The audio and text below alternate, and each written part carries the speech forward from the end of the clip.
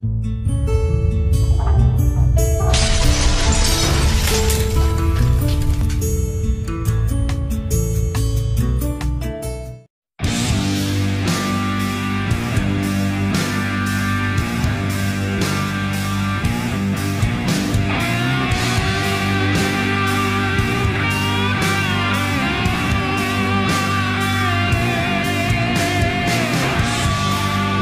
Các bạn hãy đón xem tiếng anh học đường tập 1